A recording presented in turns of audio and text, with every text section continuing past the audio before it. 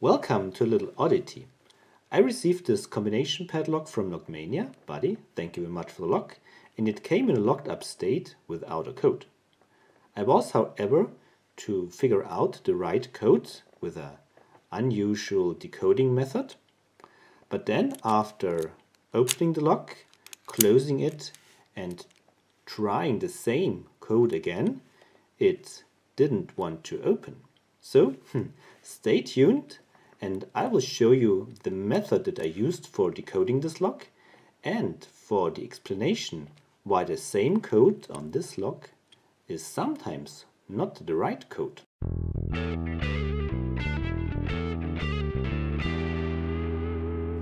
When I received this lock, I tried to decode it with the usual methods. First, I pulled on the shackle to cause the internal mechanism to get tensioned and to cause the wheels to bind, but there was no change of resistance no matter how hard I pulled on the shackle. So I was thinking that this lock is not susceptible for the usual pull picking method. Then I used my thin decoding knife, my feeler gauge, and tried to feel something in between the wheels. Usually um, you feel a flat spot on the inner wheel, but there was nothing. Yeah, then I tried to poke in, trying to tension the bolt here with my feeler gauge, but no luck. So I had no idea what to do in order to get this lock decoded until I had a closer look to what the tolerances here, the bad tolerances reveal and you can actually a little bit peek inside and see what's going on. And I will quickly show you a close-up of what I found. If you poke in between two wheels and try to lift up one, you can look inside and here at the I of the third wheel we can see something made from metal. It's shiny and there's a red dot on the top. I don't know, don't know if you can make it out, but if you really look closely you can see a red dot. And it's only on the I and not on any other letter. And so you can adjust the position of the wheels so that all the letters that have the metal thingy with the red dot underneath are aligned.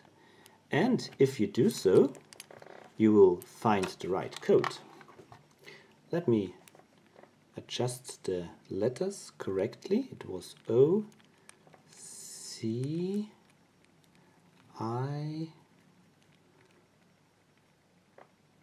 O, and U. And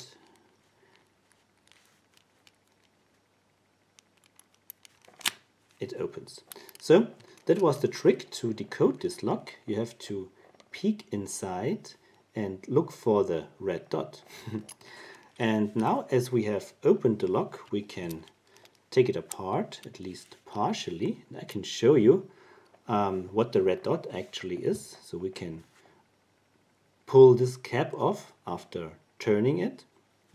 And then we can disassemble it further by taking out the wheels.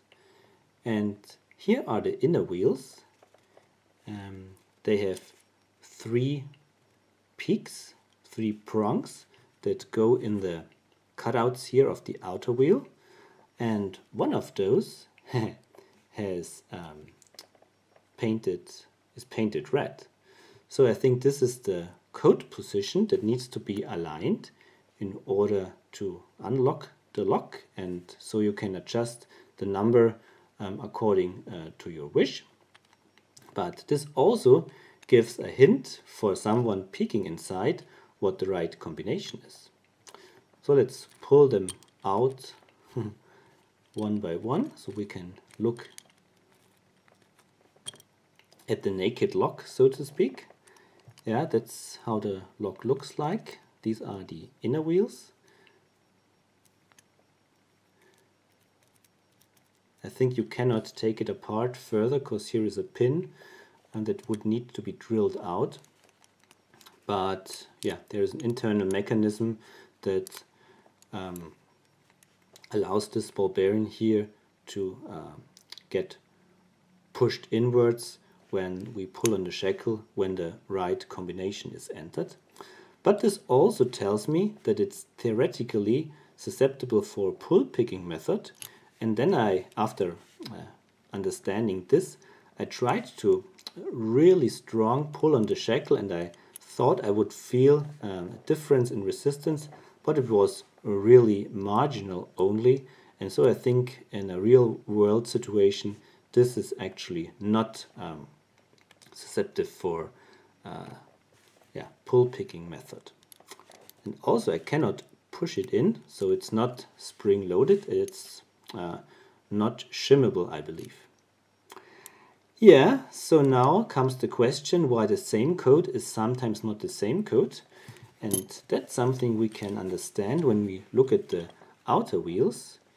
Um, I messed it up, but we will look at the outer wheels one by one. We can see here all the letters, nothing special. How about this wheel? Oh, look at that, there is an O and there is another time an O. And there are two U's. There is a U and there is another U. And here is a U and there is another U. And an O and another O. and how about that? We have an O and an U and another O and a U. U, O, O, U.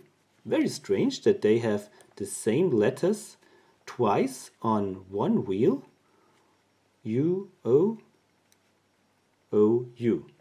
So that means that when you write down the code like this, it was O, C, I, O, U, this is actually um, not unique.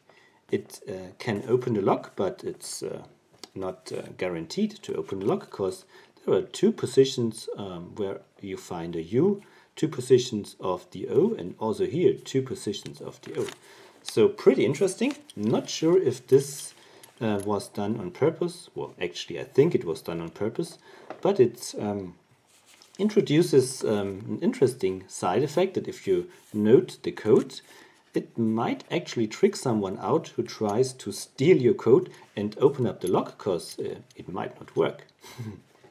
anyway, that was um, a little, yeah, it was quite some fun with this lock, um, a little journey that I uh, that I did on decoding it and trying to find out why the same code didn't work after the second attempt.